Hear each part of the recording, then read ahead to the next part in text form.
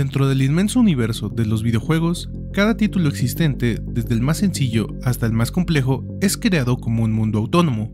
Cada juego impone sus propias reglas, leyes y limitaciones, creando entornos únicos que invitan a los jugadores a explorarlos y dominarlos. Sin embargo, existen jugadores que trascienden lo convencional, sumergiéndose tan profundamente en estos mundos que alcanzan niveles de comprensión que les permiten realizar proezas extraordinarias. Por ejemplo, en Super Mario World, la inyección de código posibilita a los jugadores acceder directamente a los créditos finales o incluso programar nuevos juegos utilizando únicamente las mecánicas existentes. En Minecraft, el dominio técnico abre la puerta a la creación de granjas y circuitos que parecieran imposibles de construir, y en los speedruns de GTA San Andrés, el glitch conocido como Arbitrary Jump in Skip implica activar y desactivar misiones en momentos específicos y bajo ciertas condiciones para engañar al juego y completarlo en cuestión de minutos. En este video te explicaré cómo en el universo de Halo también es posible llevar a cabo hazañas similares, demostrando que la dedicación y creatividad de un solo jugador puede inspirar a muchos a transformar un videojuego en algo que ni siquiera sus propios creadores hubieran pensado. Pero primero, ¿quieres una suscripción a Game Pass Ultimate a mitad de precio? Entonces checa el descuentazo que Neva tiene para ti. Eneva ha tenido la confianza de patrocinar este video, ofreciendo una manera segura y confiable de adquirir no solo Game Pass, sino también cualquier juego digital que gustes. Para hacerlo, haz clic en el enlace de la descripción de este video o en el comentario fijado. Una vez dentro de la página, te invito a explorar todas las opciones que Neva tiene para ti. Busca bien porque podrás encontrar mejores ofertas en cuanto más busques. Por ejemplo, un mes de Game Pass Ultimate a tan solo 172 pesos mexicanos. Pero además, si utilizas alguno de los códigos que aparecen en pantalla, recibirás un descuento adicional de hasta el 8% en el total de tu compra así que si quieres aprovechar mejor esta oferta, puedes agregar algún juego o código extra a tu carrito. Además, no olvides que con Game Pass Ultimate no solo obtienes los beneficios de una suscripción normal, sino que también accedes a una variedad de juegos de PC y también podrás jugar múltiples títulos el mismo día que salen. Así que muchas gracias a Neva por patrocinar este video, no tengas miedo de explorar su variedad de productos y recuerda que puedes checar los enlaces que están en la descripción o en el comentario fijado para acceder a los mejores precios en Game Pass y contenido digital. Una vez dicho esto, continuemos con el video. Halo 2 fue lanzado en el año de 2004 y desde entonces la comunidad de jugadores ha encontrado numerosos glitches y trucos que desafían la lógica del juego. En 2006, un jugador llamado Chuck Ying subió a YouTube uno de los primeros videos documentados de un glitch peculiar en Halo 2. Este truco sería conocido como Dead Alive o Zombie Glitch.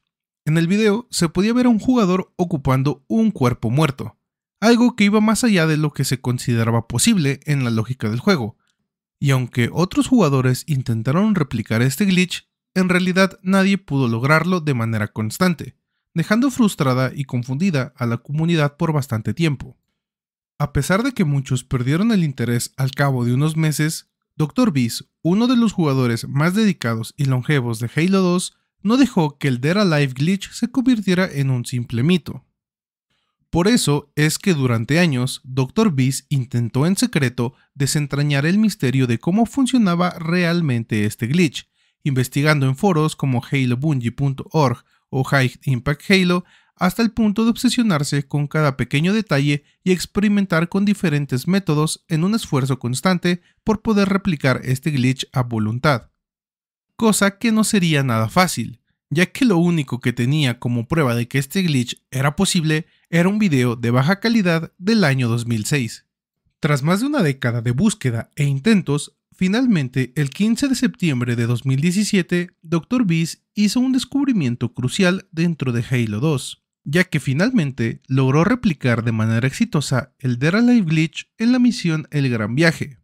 Después de tantos años, finalmente Dr. Beast logró reproducir el glitch de manera controlada por primera vez en la historia y este avance no solo validó sus años de esfuerzo, sino que también abrió la puerta a una comprensión más profunda de los sistemas internos de Halo 2, ya que el Dead Alive Glitch es posible gracias al funcionamiento del sistema de reaparición de Halo 2. Al jugar en cooperativo, en caso de que un jugador muera, este reaparecerá junto al compañero vivo solo si se cumplen dos condiciones. La primera es que el jugador se encuentre fuera de combate. Esto se interpreta como estar lejos de cualquier enemigo que no esté golpeando, disparando o lanzando granadas, y que, además de esto, el jugador se encuentre tocando el suelo. La segunda condición es que haya suficiente espacio para que el segundo jugador aparezca.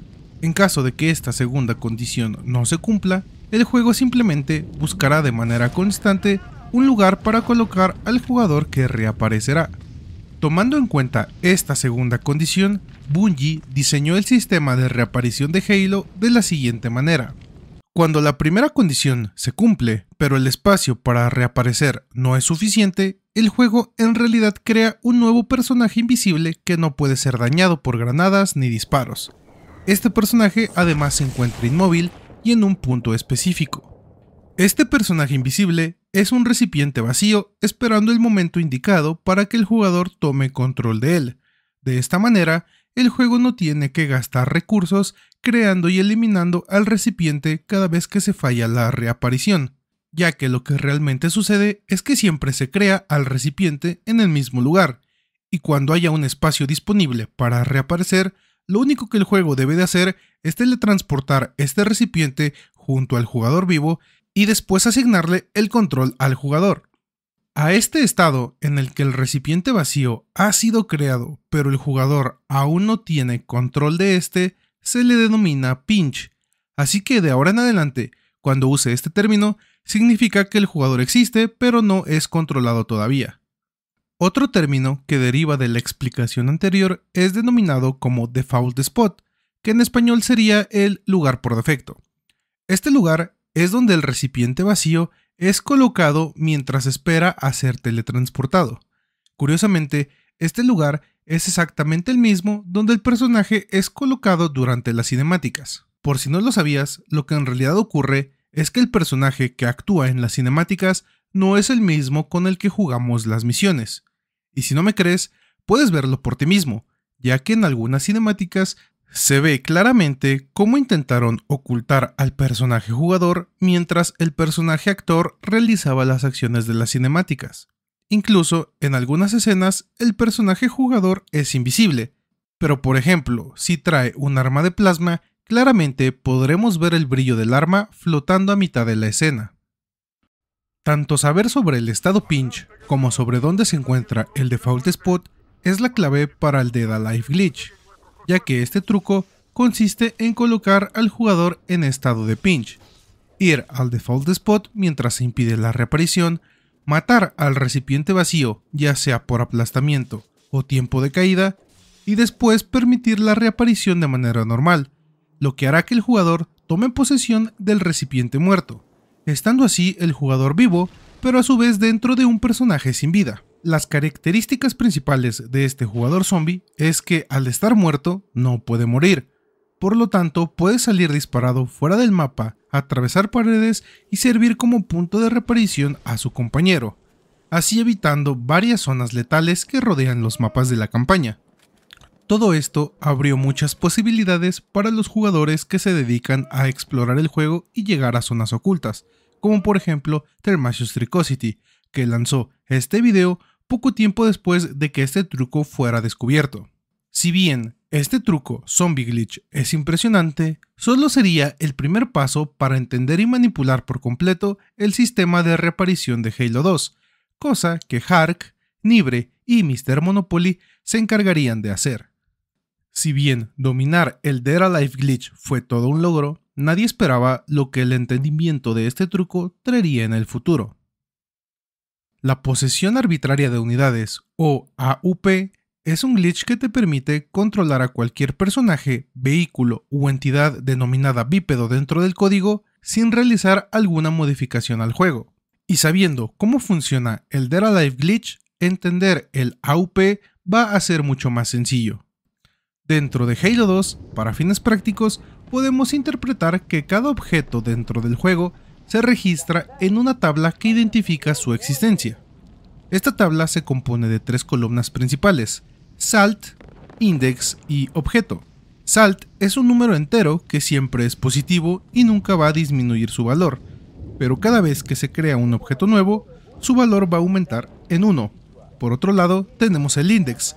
Este número únicamente enumera los objetos que actualmente existen dentro del juego. Por lo tanto, su valor puede aumentar o disminuir dependiendo de en qué punto del juego nos encontremos. Finalmente, el objeto es literalmente el objeto al que le pertenece la combinación de salt e index anteriormente mencionados. Y si aún no me entiendes, presta atención al siguiente ejemplo. En el nivel de las afueras, iniciamos nosotros con 4 marines. Cada marín tiene un arma, lo cual nos da un total de 11 objetos incluyendo nuestras propias armas. Las granadas en este caso no cuentan ya que no están en el piso ni tampoco han sido lanzadas. Supongamos entonces que la tabla mostraría la siguiente información. Ahora, si yo decido lanzar una granada, mientras mi granada esté existiendo, esta obtendrá los siguientes valores. Pero justo en el momento de explotar, dicho espacio va a ser liberado, así que cuando lance otra granada, esta va a ocupar el mismo espacio en index, aunque la salt va a ser distinta. Y este principio aplica tanto con los disparos de los aliados, enemigos y el mismo jugador. La posesión arbitraria de unidades aprovecha este sistema de salt e index para manipular la información de reaparición del juego. Regresemos a nuestro ejemplo hipotético. Ahora tenemos un segundo jugador que ha cambiado la información de la tabla, así que supongamos que queda más o menos así.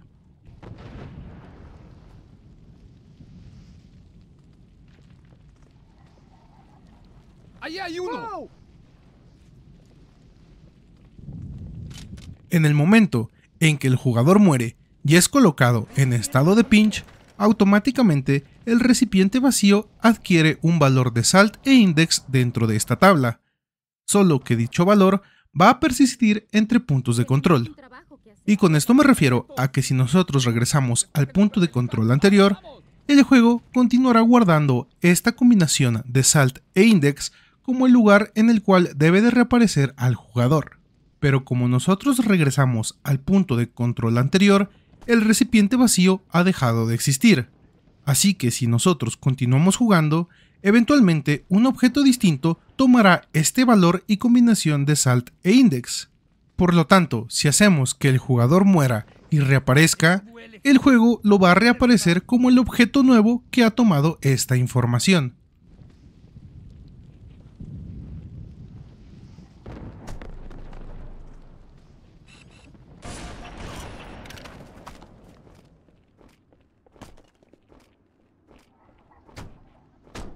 El problema con este truco es que cada disparo, ya sea propio del jugador o de algún personaje tanto aliado como enemigo, puede arruinar por completo este truco. El margen de error es en realidad mínimo, ya que incluso si alguien muere y suelta una cantidad determinada de granadas, esto afecta por completo el resultado final, Afortunadamente, existen jugadores que han perfeccionado esto, haciendo posible convertirse en casi cualquier personaje existente, con preparaciones que pueden tomar hasta una hora, como por ejemplo la de Tartarus, la cual requiere que primero te conviertas en un Ghost para poder llegar a ser él. Si bien todo lo anterior aplica únicamente a Halo 2, desde el descubrimiento del AUP en 2019, se teorizaba que este truco también debería ser posible en Halo Combat Evolved pero no sería hasta 5 años después, en recientemente 2024, que los primeros resultados de un AUP en Halo Combat Evolved verían la luz.